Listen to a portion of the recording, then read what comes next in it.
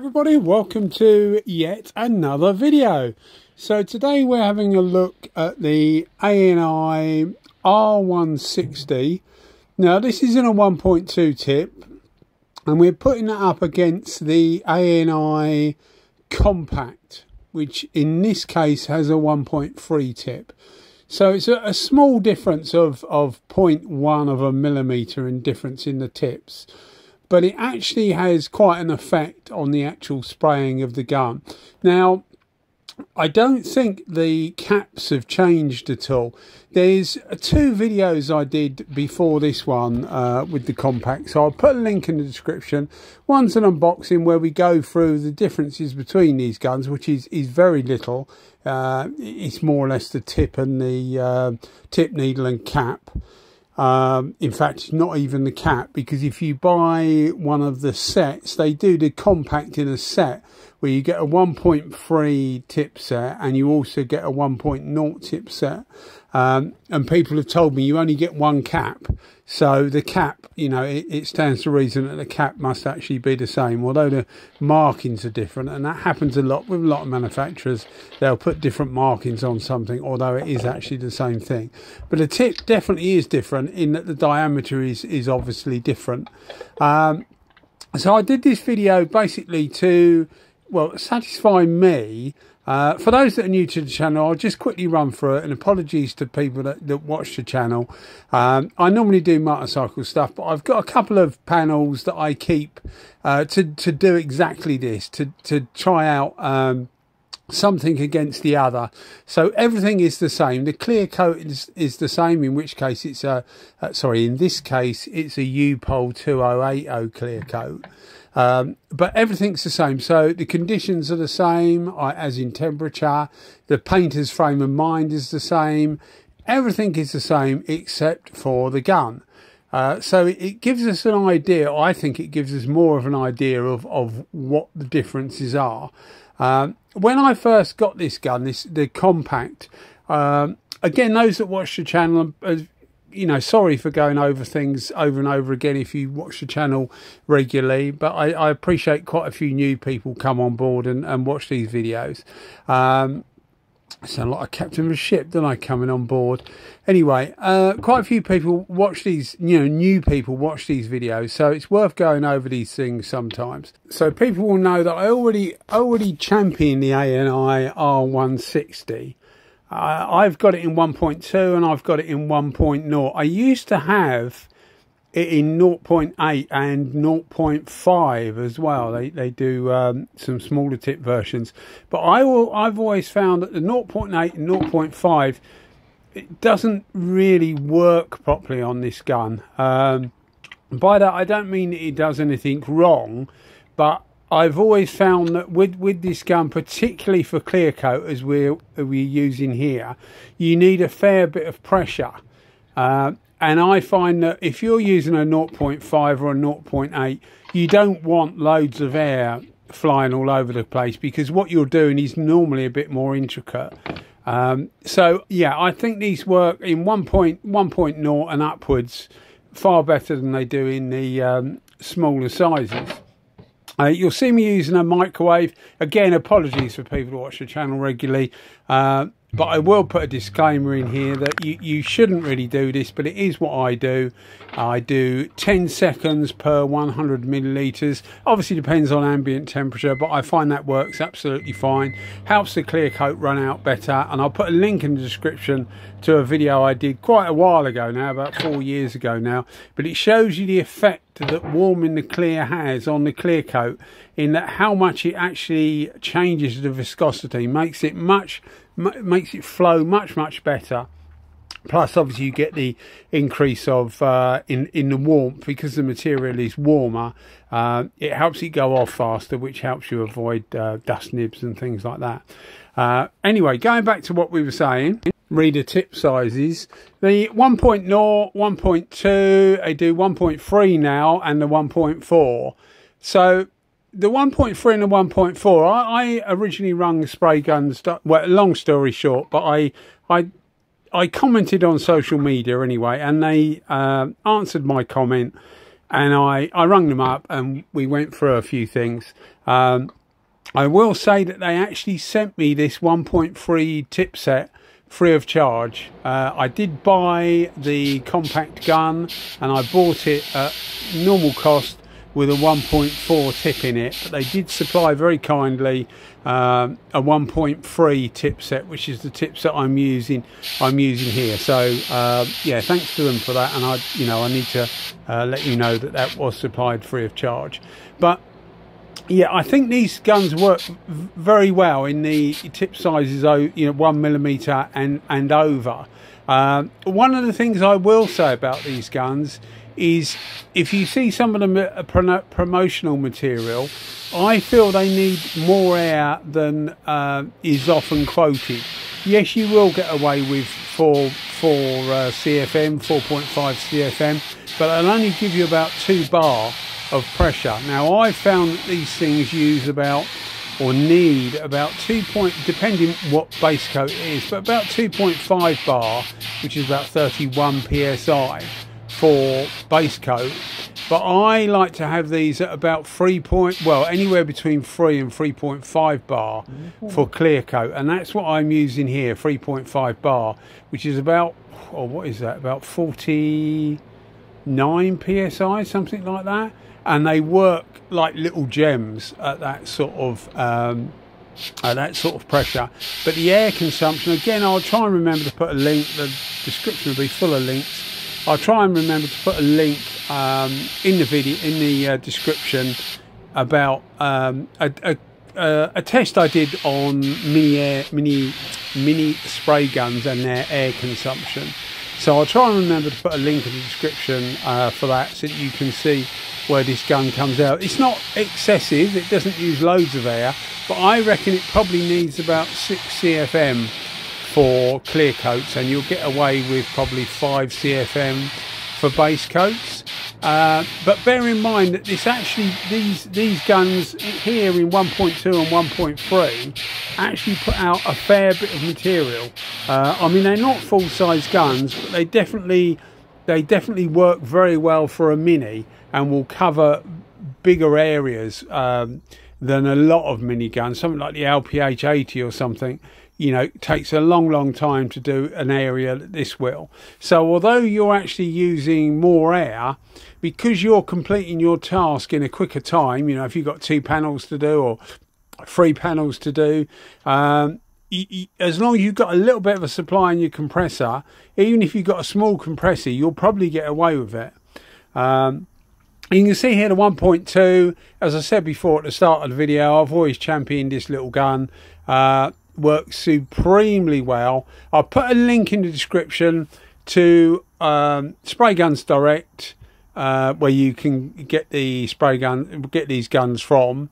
And I'll also put a link to the in the description to the various tip sets you can get to convert this. Because if you're going to buy a compact, it is the same gun as the R150, just with a different setup. You get a bigger cut with it, um, and it's just just a little bit more really of everything. But the actual gun body, etc., is the same. So if you buy it with a uh, a 1.3 and you want to change it to a 1.0 then you just buy the tip set which is uh, basically a needle a tip and a cap so looking at the difference between the two you'll see the spray out in a second uh, when we do the spray out of the 1.3 I leave all the mixing bits and that in because quite a few people I used to I used to miss them out and quite a few people asked me to leave the like in between bits in um, so a lot of you will see that I have started using just normal paper coffee cups. Now they're not wax coated, so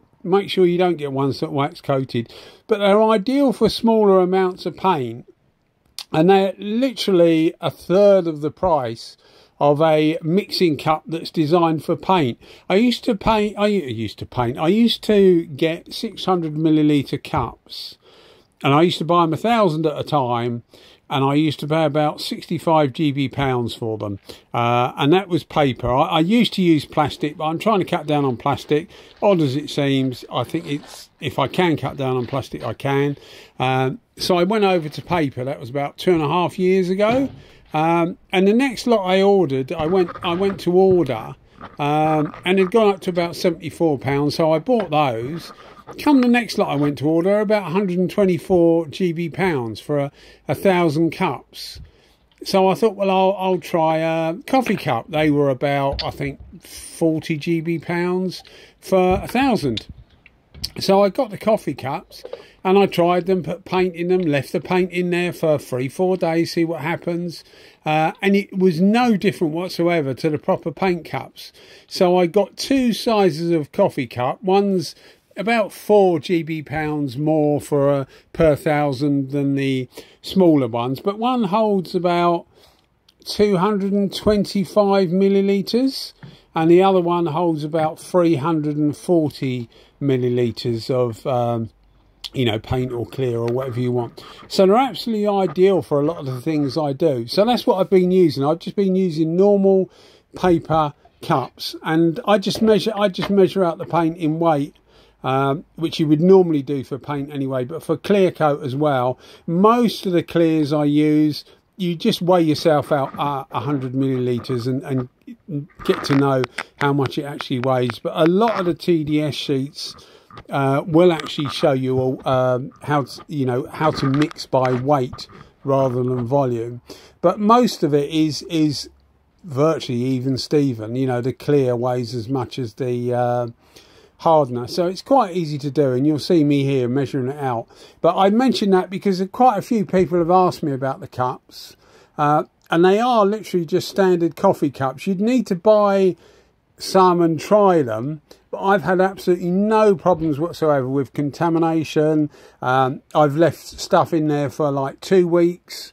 It hasn't leaked or anything. You know, there's been no um, reaction with the solvent and the um, the glue they use for the cup. So yeah, I've been uh, you know I've saved myself quite a lot of money by doing it this way for the sort of quantities I use anyway. Obviously, if you use PPS uh, cups, then none of this will really apply. Um, but I, I tend again not to use PPS cups um, I just I'd find it quite convenient to use a, a, normal cup. I've got lots of different sizes, so I just find that more convenient. Anyway, sorry for it on, but back to the guns. So with these guns, you'll notice in a second when I do the spray up with the 1.3, um, it's a marked difference between the 1.3 and the 1.2. Uh, and what I was going back to before, when I originally rung Spray Guns Direct, I was a little bit sceptical after contacting them on uh, social media. Uh, I was a little bit sceptical about um, the claims that this sort of made that much difference. You know, you think 0.1 of a millimetre, can it really make that much difference? Uh, and the answer to the question is it actually does. It does make a fair bit of difference. Uh, I've got the 1.4 set up as well, um, and that's just a little bit more of the same. One of the things they were saying is that the that they find that the pattern doesn't quite hold together as well on the 1.4. I didn't find that, but it, it will depend on the viscosity of the material you're using uh, and it will it will also depend on obviously the pressure you're using the gun at. Um, but I used it. Uh, I used a 1.4 at 3.5 bar, so nearly 50 psi um, for clear coat, and I got a stunning finish with it. Um, and it, it, the pattern was absolutely fine. But it's a high solids clear coat. If you have a medium solids one, you might find that the pattern will split. But if it does, then you can bring the pressure down a little bit. Uh, hopefully you can keep your finish. The reason for using a higher pressure I find on clear coat with this is it, it does it does atomize finer. Uh, I, I, tried using these at 2 bar. There's a chap I know, uh, hello John if you're watching, who um, has an Instagram page. Again, I'll try and remember to put a link in the description. But um, he, he's a good he's a good chap. He, he, he knows what he's doing with clear coat.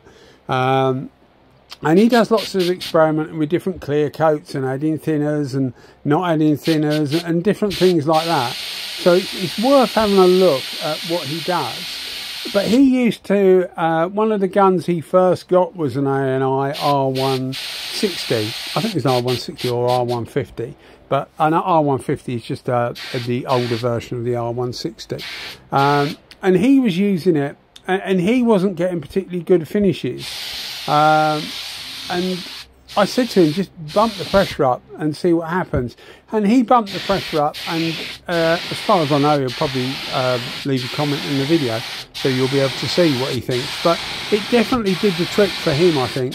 And it, it really does need that extra pressure, and that's what gives it that extra consumption um, above what um, what is often quoted for this gun. But otherwise, you know, this thing this thing hasn't changed from the R160 that it used to be. It used to be a brilliant gun. All this has done is given it a a new not not a new lease of life because the old one wasn't at the end of its life. It's given it a um, a new avenue, a new avenue. Yeah, some something that uh, you know you could do. You can do more with this.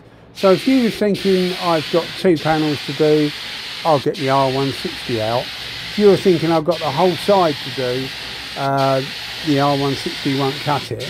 Well, the R1, well, the, the compact, ANI compact, will cut it uh, because it does put out that much more material, speed the gun up by a fair bit, you get a nice big fan with it, and one of the reasons for using the same um, wing in this case, a fender, I think you say in the US, is that you can see, just watch the two, watch the final coat, because that's more the, you know, the finished coat, uh, and see which one's faster. And you'll see that the 1.3 is a fair bit faster. Uh, and that's where you, that's where you gain. So it enables you to do the side of a car much, much more easier. And of course, with the compact, you get a, a bigger cup. So you get a, I think it's 500 milliliter they give you with it rather than 600 milliliter. Um, but you get a bigger cup with it as standard anyway. So actually in that kit, you get a smaller cup as well. You get the 250 milliliter, which is what the R150 normally comes with. I've also got a 100 milliliter, which they do do as a spare cup.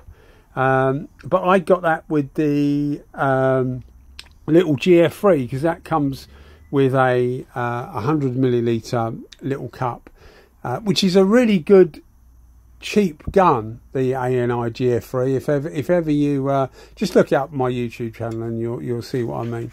Um, I've, I've, used that quite a bit. I've, I've, drilled one out to make it into a primer gun uh, for high build primer. I drilled it out to 1.8.